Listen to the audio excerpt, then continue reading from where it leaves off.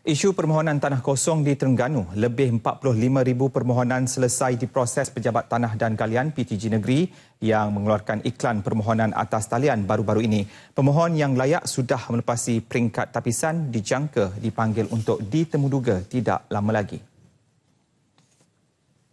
Menteri Besar Terengganu Datuk Seri Ahmad Razif Abdul Rahman berkata senarai pemohon yang berjaya dalam temuduga itu akan dibawa ke peringkat mesyuarat majlis daerah dan exco untuk kelulusan. Beliau menjangkakan Disember ini kerajaan negeri akan mula menawarkan kepada mereka yang berjaya dalam permohonan program tanah kosong kediaman tersebut.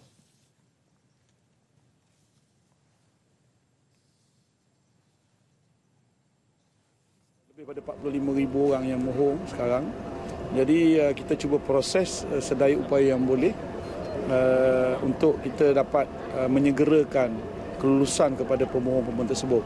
Dan di samping itu uh, insya-Allah dalam masa terdekat ini kita akan umumkan lagi uh, apa ni uh, tanah-tanah yang kosong yang boleh dimohon oleh uh, rakyat kita lah. Uh, yang ini juga kita sedang laksanakan. Beliau ditemui selepas program Majlis Bertemu Pelanggan Cakna Rakyat dan program bersama JKKK Kemas, Jasa dan Agensi Transformasi Rakyat Terengganu Atra Daerah Kuala Terengganu di Kuala Terengganu. Program berkenaan bakal menjelajah setiap daerah pada setiap hari Isnin. Kemaman menjadi daerah kedua yang dijadual diadakan Isnin depan. Sementara itu, beliau memaklumkan kerajaan negeri akan terus membuka rancangan tanah berkelompok RTB di Terengganu dari semasa ke semasa.